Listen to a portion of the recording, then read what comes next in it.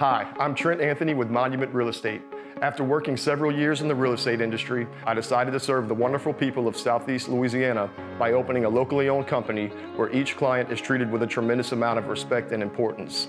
Serving the North Shore, Baton Rouge, and New Orleans regions, Monument has the ability to broker all types of real estate transactions. We're only three weeks away now, just a little over three weeks away from the presidential preference primary election, which is the election we have every four years that's a closed primary. So our voters get a little bit confused sometimes because they're used to our jungle primaries. But when you come in to vote for the presidential preference primary, only Republicans can vote in the Republican primary and only Democrats can vote in the Democratic primary. However, if you have anything else on your ballot, like many of you do in um, Tangipahoa Parish, everyone gets to vote in that. So everyone gets to vote for mayor or alderman or anything else. It's just the presidential preference primary that's closed. So to that end, my office has been conducting aggressive voter education to make sure that Louisiana voters understand that they must be registered in a recognized party in order to participate in the primary. And you have until March 2nd to change your voter registration. So if you want to go online and look and see, you can use the GeauxVote app or go to our voter portal on our website and find out, make sure you're registered the way you think you're registered because people are always surprised and um, they think, oh, I, have always thought I was a Democrat and, um, and I've always voted for Democrats, but they're registered as a Republican and vice versa. So, so we, we encourage everyone to go check their voter registration before the presidential preference primary. And on the subject of political party primaries, we are now past the first special legislative session that occurred right after we got sworn in. and, um, and the um, legislators here will tell you it's been a very, very busy time.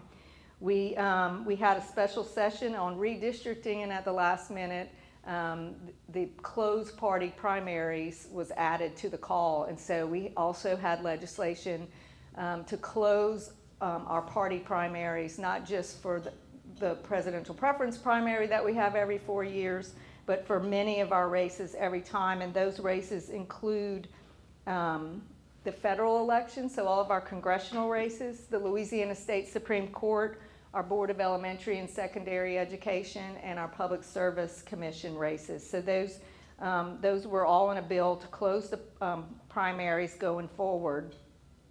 And um, we didn't take a position on the bill. I didn't take a position on the merits of whether we should close our party primaries or not. As you all know, we do jungle primaries in Louisiana, and, um, and some people like it, some people don't. And so I didn't take a position on it, but I did request that we delay the transition to this system because as election administrators, we needed more time to implement it than was originally allotted in that legislation. So we didn't want to put our office in a position where we could potentially um, have a failure and fail to deliver a successful election to the people of Louisiana.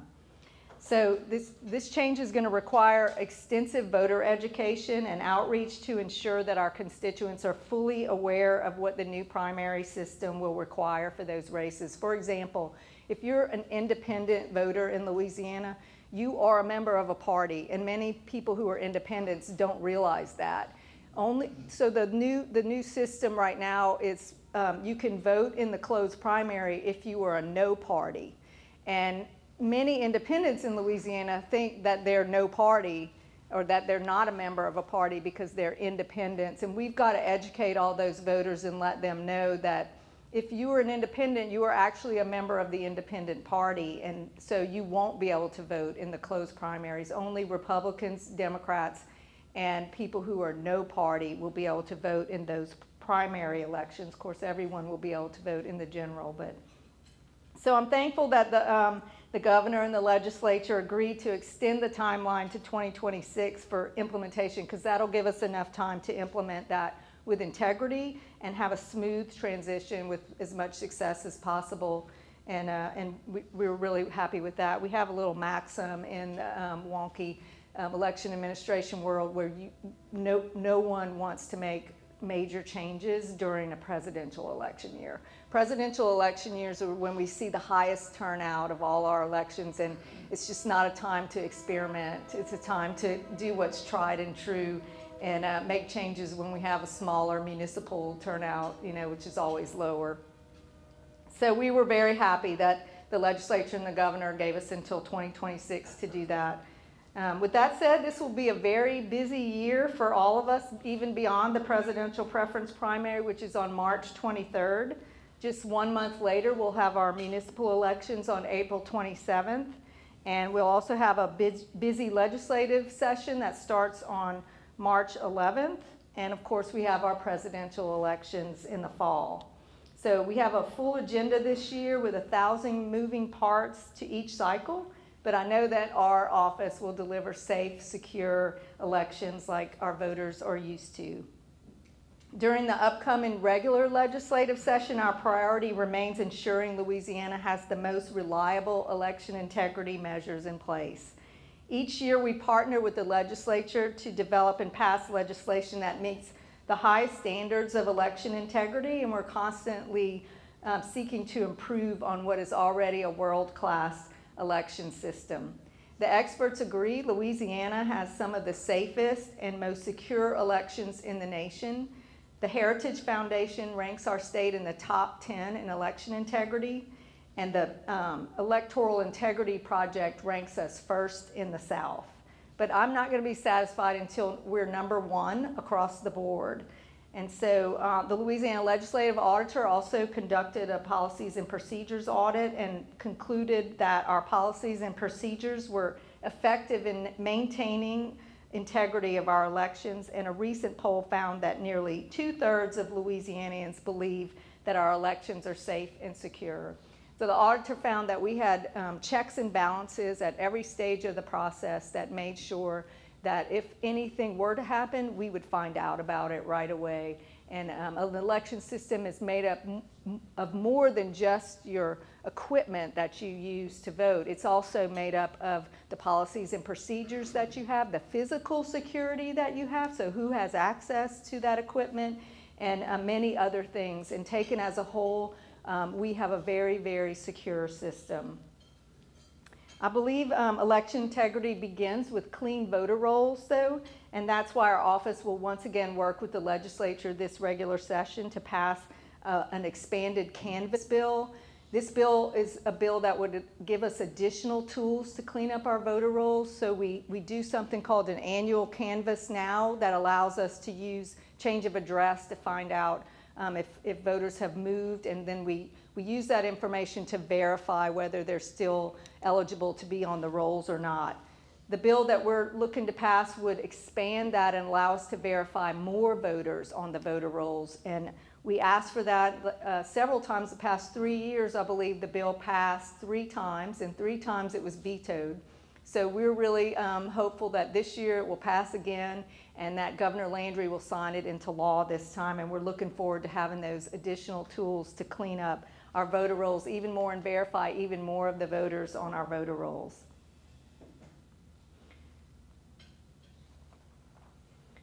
So I'm looking forward to working with them to do that. We already, um, I think, have a bill in the hopper to do that, and we plan. Um, to, we also plan to work with the legislature on a bill that would require third-party groups who conduct mass voter registration drives to register with our office before they conduct those mass voter drives. We want to make sure that these groups are um, that they understand the best practices surrounding um, voter registration and that um, when voters are handed a, a, voter registration form, they're not misled and that their sensitive personal information is not going to fall into the hands of bad actors.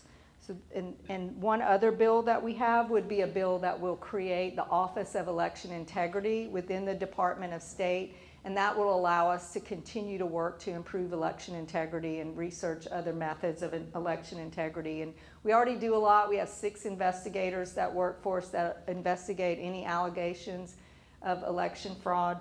And, um, and they, they do a great job going around the state and investigating those and turning them over for prosecution. And we've prosecuted right here in Tangipahoa Parish. Um, we had a prosecution a couple of years ago where we caught some voters um, illegally registering in a, at a, place where they did not live, and um, and and those were um, prosecuted and um, I think a couple of people went to prison for that.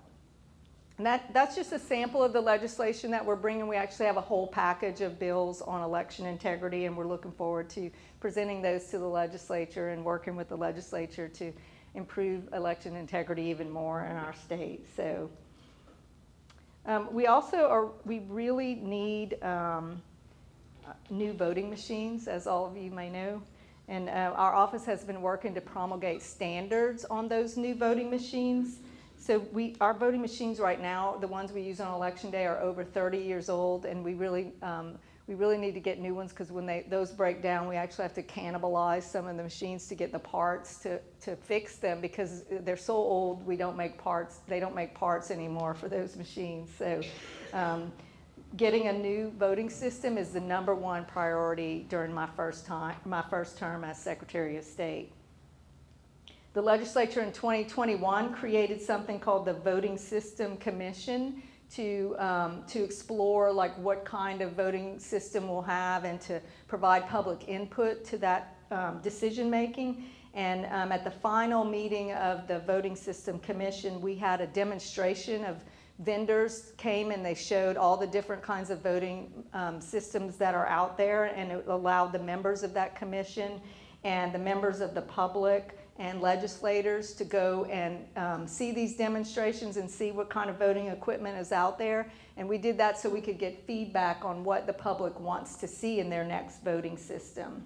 And we don't, we haven't made a decision yet as to exact specifications of what the new voting system will be, but it will have a paper component, an audible, auditable paper trail so that um, if there's a recount or um, anything, we can, we'll have a, a paper record of how um, a voter voted, not identifying the voter, that you're, that's confidential, but just, you know, a paper record of the actual votes. And we will be conducting post-election audits after every single election. So my office has to follow the law as it relates to procurement. So once we promulgate these standards, which we're currently working on, the process will still take several months after that. We'll have to go through um, the creation and dissemination of a request for proposal, and we have to follow all the procurement laws with, re with regard to the RFP. So once the RFP is created, the, um, the legislature created this voting system proposal evaluation committee, which will provide a little more transparency in the RFP process. And so that the voting system proposal evaluation committee will score each proposal and they'll recommend um, an award winner. And once the award is made, then that is also subject to approval of the legislature, the joint budget committee of the legislature. So um, while we won't have a new system in place by our November presidential elections, the people of the state have given us a clear mandate that they want a new voting system with a paper component, and we owe it to them to get it, that to them as quickly and as effectively as possible. So um, all of you know that we do elections and we administer elections at the Secretary of State's office, but we also register all the businesses in the state. And our office is working closely now with the new Secretary of LED, Secretary Susan Bourgeois, and with the new Secretary of um, the Department of Revenue, Richard Nelson. And we're working to streamline and consolidate the small business resources available and also to make it um, the process of creating a new business less cumbersome in Louisiana. And we have um, a new small business liaison. He's here with me today. Clayton Smith. He's our new small business liaison. We also have a deputy secretary for geauxBIZ, and, um, and both of them will be working closely with the small business community. They'll go around the state and conduct small business roundtables. So if any of you are business owners, I encourage you to participate in those small business roundtables. They've been um, really helpful to our office to find out what the small business community would like and need with regards to burdensome regulations. And we've already moved forward with several things where you can um, make suggestions to our office about burdensome regulations and suggest alternatives to them. We've done other things already, but we're looking forward to doing even more to help our small business community. It's not voting on paper, And we actually have a recent survey that says 85% of people in Louisiana want to use a touchscreen machine to vote like they're used to doing. And so um, the system that we're envisioning is one that still employs modern technology like that, so it makes um, you know, the use of modern equipment to um, create your ballot, if you will. But then it generates a paper backup the voter can use to verify that that is actually, yes, that's how I voted. I, um, I did vote that way. The paper component is just a paper backup. It's not actually how you will vote. It's, it's just something that we'll, we'll use to audit the elections afterwards, and it'll be a way the voter can verify that that's actually how they voted. And so it's the best of both worlds. It, it, it combines modern technology with a safeguard backup, and so that's what most states use. It's best practices now. And we're the only state really that doesn't even have an audit trail because our system is so old. It's, it's from, you know, 1990. That's a great question. She asks how we um, clean our voter rolls with regard to people who have passed away or who, uh, how we partner with other agencies to find out that information. And we do get information from the Social Security Death Index as well as from the, the Louisiana Department of Health on who has passed away, and we use that information to clean our voter rolls and remove people who are no longer with us. We do have a few people who have fallen through the cracks because um, back in the day, you didn't have to include a lot of information when you registered to vote. So, for example, if you registered to vote in 1940 and you registered as Mrs. John Smith, but we get the information from the Department of Health and it says Matilda Smith, we can't match that one. And back then they didn't use social security numbers and they didn't have a lot of identifying information. So we have to match a certain number of data points before we can move them to the inactive rolls and eventually remove them from the rolls. And so that's why we're asking for this new expanded canvass. So what this new expanded canvass will do is it would allow us to reach out to voters who have not voted in 10 years or not had any contact with our office or the registrar's office for 10 years or more. And we'll reach out to them to verify, are you still with us? Do you, you know, do you still want to be registered to vote? And we'll be able to, um, to catch some of those um, voters that fell through the cracks, if you will, and that we and so we anticipate it allow us to clean up a lot of that. And that being said, we, we might have people on there who have passed away, but we do not have a problem with those people voting. So people make jokes about that a lot, but, um, but that, you know, that would be very, very rare for that to happen. There, they, we want to clean up the rolls because it's an opportunity for fraud if they're on the rolls, but we don't actually have reports of people who, who have died actually voting. If we do get those, it's usually um, a junior and a senior mix up. what about for people who move away or move out of state? Okay, yes, that was part of your question too. So we, we're entering into agreements with other states to use um, a system to compare who's, if they're registered to vote in another state, then we would be able to start the, the process of removing them from our rolls if they're registered to vote in another state. And there's federal law that governs the steps and process that we have to use to do that. But we, we are um, in the process of entering into agreements with other states to share data in a, in a very anonymous way. It's not going to um, compromise anybody's personal information. We, um, we, we um, do it in a very secure environment, but we, we're working to, to enter into those um, agreements right now with, particularly with the states, we see a lot of um, movement between Louisiana and those states. We're just not to the place right now where we can securely vote online. It's just the technology is not really secure enough right now. But there, but there are people, futurists and experts who believe that we're very, very close to having a system that would allow um, voters to vote securely online using blockchain technology. And so, um, so, so that is something that experts are looking at and work actively working on. But, and I don't know, it, this, I don't want to get into the weeds in blockchain, but it, in my opinion, it can't be a blockchain that is privately owned. It has to be a decentralized system in order to have that security because you don't ever want it to be dependent on one vendor or to have one person, one vendor, one anything have all control over all of that. It, in order to be secure, it has to be decentralized and on a you know publicly auditable, immutable ledger. And the, the, the problem right now is the, um, the confidentiality piece. Hey, I'm Arden, co-owner of Rediscover Aesthetics along with my wife, Catherine. We have a passion for changing people's lives through medical aesthetics services and procedures. For us, it's not about vanity, it's about making people feel comfortable in their own skin. We love building relationships with our clients because we truly care about their well-being. Speaking of well-being, we happen to be in the heart of Franco's Health Club and Spa, a North Shore staple in health and wellness. We believe that aesthetics isn't something to be afraid of, but rather embraced. We offer quick, minimally invasive medical aesthetic procedures, medical grade skincare treatments, and regimens that are fully customized to your individual needs.